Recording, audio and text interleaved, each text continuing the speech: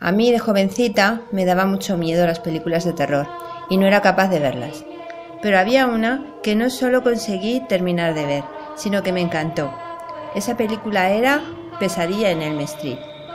Me preguntaba si podía estar basada en un hecho real y si es verdad eso que dicen de que si se muere en un sueño se muere de verdad. Me acordé que Ghost Blau hace vídeos de misterio y pensé que quizá él podría tratar el tema en uno de sus vídeos. Si a ti también se te ocurre un buen tema para que traten sus vídeos, quizá también podrías proponérselo. Ghost Blau presenta El origen de Pesadilla en Elm Street. A principios de 1980, los medios de comunicación en Chicago y Los Ángeles se hicieron eco sobre una extraña epidemia que se había apoderado de la población en el sudeste asiático. Jóvenes perfectamente sanos y saludables informaron de pesadillas horribles, negándose a dormir durante días, convencidos de que sus sueños estaban siendo atacados por un demonio.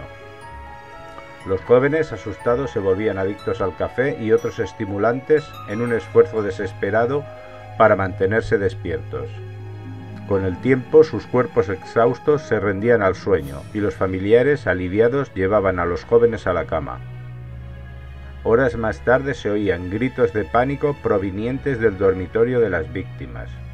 Los jóvenes se encontraban en sus camas atrapados en las poderosas pesadillas gimiendo, jadeando, asfixiándose, incluso en algunos casos sacaban espuma por la boca.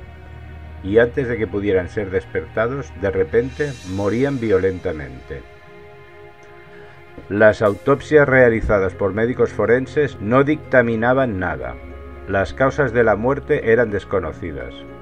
El miedo en los barrios del sudoeste asiático fue en aumento, causando un pánico popular. Aunque son muchas las teorías expuestas sobre este fenómeno, no hay pruebas concluyentes de lo que realmente ocurre en los sueños.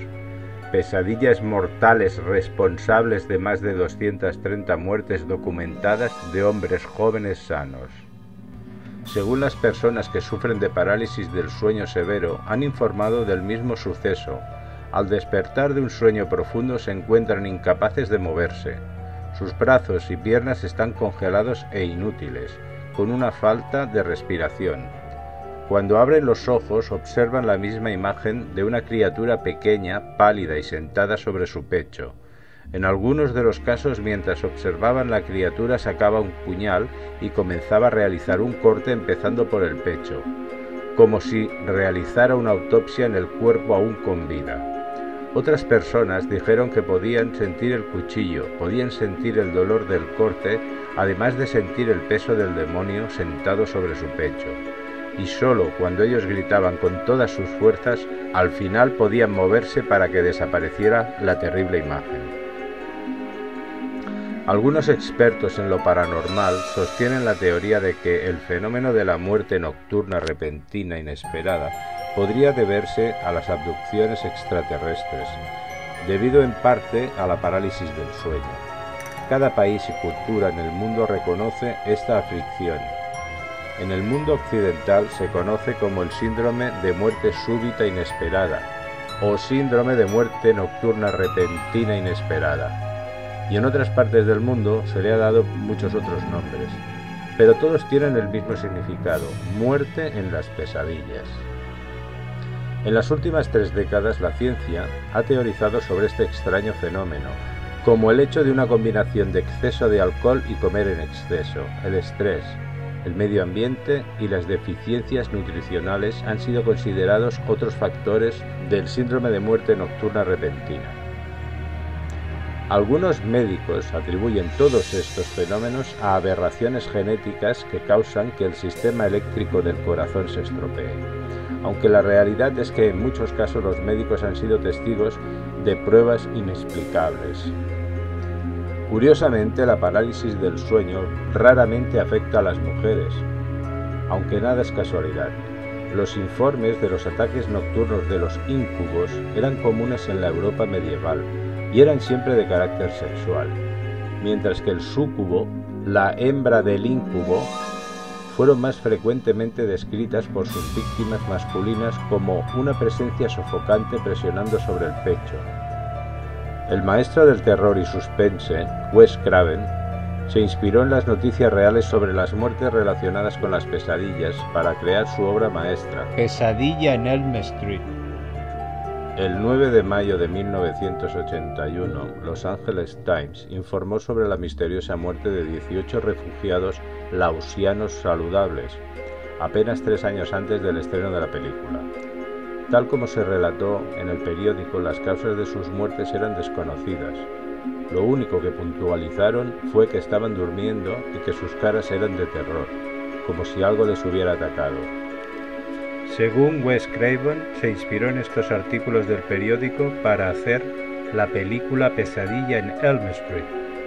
En dichos artículos se narra cómo un joven inmigrante del sudeste asiático de 22 años sufría de horribles pesadillas, hasta el punto de negarse a dormir por miedo a morir repentinamente. Se mantuvo despierto artificialmente, mientras sus padres trataron de darle pastillas para dormir a escondidas. Después de cuatro o cinco días, este joven fue encontrado muerto. Otra de las víctimas era el hijo de un ingeniero que rehusaba dormir debido a las pesadillas que tenía. Su familia estaba preocupada, ya que había estado varios días sin dormir, hasta que una noche se quedó dormido y lo acostaron en su habitación. Sin embargo, en medio de la noche lo oyeron gritar, y al entrar en su habitación lo encontraron muerto. Se realizó una autopsia y descubrieron que no sufrió un ataque al corazón. Había muerto simplemente por razones inexplicables. Encontraron en su armario una máquina para hacer café, llena de café caliente que había utilizado para mantenerse despierto. Y encontraron además todas las pastillas para dormir que pensaron se había tomado. Él las había escupido y las escondió. Craven sostuvo en una entrevista que el origen de Kruger estaba también basado en algo que ocurrió cuando era niño. Una noche, mientras estaba en su habitación, vio a través de la ventana un hombre ebrio que caminaba por la calle. El hombre lo miró directamente a los ojos y Craven se escondió. Tras estar escondido en su cama, volvió a asomarse por la ventana y descubrió que el hombre seguía en el mismo lugar. Craven se lo contó a su hermano mayor, y cuando él bajó las escaleras para examinar, no había nadie en la calle. Según el director, la idea de un adulto que era aterrador y disfrutaba asustando a un niño fue el origen de Freddy. La idea del guante del personaje está basada en el temor inconsciente que tienen los humanos a los depredadores, y las cuchillas de Kruger representan las garras, dientes y cuernos de esos animales. El color del jersey de Freddy surgió tras leer la revista Scientific American en 1982, donde se señalaba que los colores que más chocan a la retina humana eran el verde y el rojo. La realidad es que nadie sabe con certeza el porqué de este fenómeno.